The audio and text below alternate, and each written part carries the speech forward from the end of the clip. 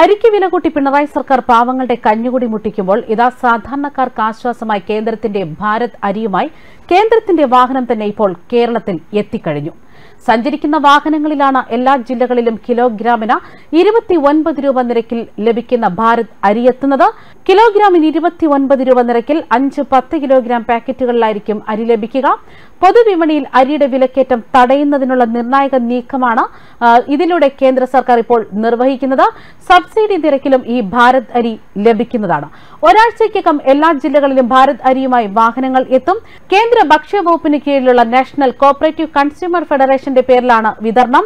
ജില്ലയിൽ സഞ്ചരിക്കുന്ന വാഹനങ്ങളിൽ കൂടുതൽ ഇടങ്ങളിൽ അരി എത്തിക്കുന്നുണ്ട്. വരുന്ന ആഴ്ചയോടെ സംസ്ഥാനത്ത് മുഴുവൻ പ്രദേശത്തും ഭാരത് അരി എത്തിക്കാനാണ് ശ്രമമെന്നാണ് വിവരങ്ങൾ. ഓരോ കവലകളിലും ഈ വണ്ടിയെത്തും. ഒരാഴ്ചയ്ക്കകം എല്ലാ ജില്ലകളിലും വണ്ടിയെത്തും. ആവശ്യക്കാർക്ക് ഇരുപത്തി ഒൻപത് രൂപ നിരക്കിൽ അതായത് ഒരു കിലോയ്ക്ക് ഇരുപത്തി ഒൻപത് രൂപ നിരക്കിലാണ്. അഞ്ച് കിലോയിൽ ലഭിക്കും പത്ത് കിലോ എന്ന നിരക്കിലായിരിക്കും ലഭിക്കുക. ആവശ്യക്കാർക്ക് സാധാരണക്കാർക്ക് പാവങ്ങൾക്ക് ഒരു കൈത്താങ്ങായി മാറുക തന്നെയാണ് ഇപ്പോൾ കേന്ദ്ര സർക്കാരിന്റെ ഭാരത് അരി. ഒരു ദിവസം കൊണ്ട് രണ്ട് മണിക്കൂർ കൊണ്ട് നൂറ്റി അൻപത് ചാക്ക് അരിയാണ് ഇക്കഴിഞ്ഞ ദിവസം തൃശൂരിൽ വിറ്റുപോകുന്നത്. എഫ് സി ഐ ഗോഡൌണുകളിൽ നിന്നും അരിയും പരിപ്പുമൊക്കെ പ്രത്യേകം പാക്ക് ചെയ്ത് വിതരണം ചെയ്യുന്നത് മില്ലേഴ്സ് അസോസിയേഷൻ മുഖേനയാണ്. കിലോയ്ക്ക് ഇരുപത്തിയഞ്ച് രൂപ നേരത്തെ തന്നെ സവാളയ്ക്ക് വിറ്റിരുന്നു. ഓൺലൈൻ മുഖേനയും ഇത് വാങ്ങാൻ ഉടൻ സൗകര്യം നിലവിലെത്തുമെന്നാണ് വിവരങ്ങൾ. പൊന്നി അരി കിലോയ്ക്ക് ഇരുപത്തി ഒൻപത് രൂപയാണ് നിരക്ക്. അരി മാത്രമല്ല അരിക്ക് പുറമെ കടലപ്പരിപ്പ് പൊതുവിപണിയേക്കാൾ വിലക്കുറവിൽ ലഭിക്കുന്നുണ്ട്. കടലപ്പരിപ്പിന് കിലോയ്ക്ക് അറുപത് രൂപയാണ് വില. അതേസമയം ഭാരത അരിക്ക് ആദ്യഘട്ടത്തിൽ ചില്ലറ വിപണി വിൽപ്പനയ്ക്ക് അഞ്ച് ലക്ഷം ടൺ അരിയാണ് കേന്ദ്രം അനുവദിച്ചിരിക്കുന്നത്.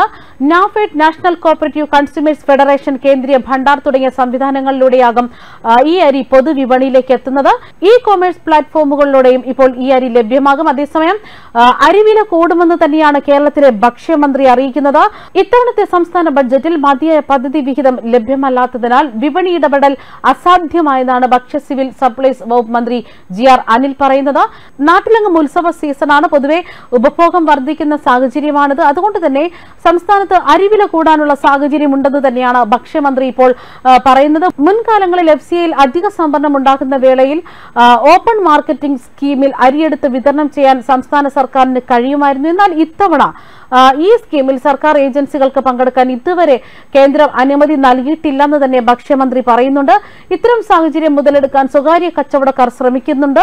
ഈ തീരുമാനം മാറ്റണമെന്ന് ആവശ്യപ്പെട്ടുകൊണ്ട് കേന്ദ്രമന്ത്രിമാരെ കാണുമെന്നാണ് അദ്ദേഹം അറിയിച്ചിരിക്കുന്നത്. അതേസമയം സംസ്ഥാന ബഡ്ജറ്റിൽ ഭക്ഷ്യ സിവിൽ സപ്ലൈസ് വകുപ്പിന് അർഹമായ പരിഗണന ലഭിച്ചിട്ടില്ല എന്നും മന്ത്രി തന്നെ പറയുകയാണ്. വിഷയത്തിൽ പരസ്യ പ്രതികരണത്തിന് പോകുന്നില്ലെന്നും ഭക്ഷ്യവകുപ്പ് കടുത്ത പ്രതിസന്ധിയിലൂടെയാണ് കടന്നു പോകുന്നു എന്നാണ് ഭക്ഷ്യമന്ത്രി അറിയിക്കുന്നത്. ഇതിനനുസൃതമായ ബഡ്ജറ്റ് വിഹിതം ലഭിക്കണമെന്നാണ് ആവശ്യം. അതുകൊണ്ട് തന്നെ ഇക്കാര്യം ധനമന്ത്രി കെ എൻ ബാലഗോപാലുമായി താൻ ചർച്ച ചെയ്യുമെന്നാണ് മന്ത്രി ജി ആർ അനിൽ വ്യക്തമാക്കുന്നത്.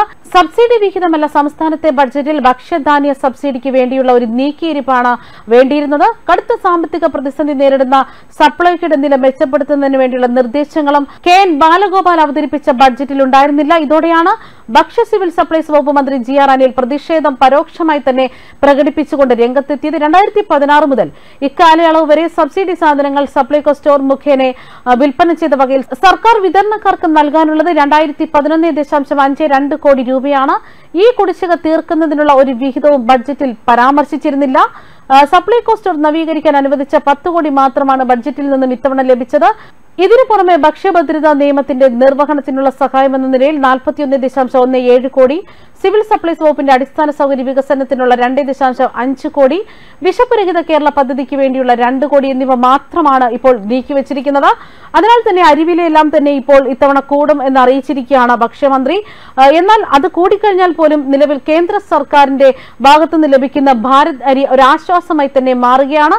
കിലോയ്ക്ക് ഇരുപത്തി ഒൻപത് രൂപ നിരക്കിലാണ് സാധാരണക്കാർക്ക് ഒരു കൈത്താങ്ങായി അല്ലെങ്കിൽ ഒരു സഹായമായി തന്നെ നിലവിൽ കേന്ദ്രത്തിന്റെ ഭാഗത്തുള്ള ഭാരത് അരി എത്തുന്നതും.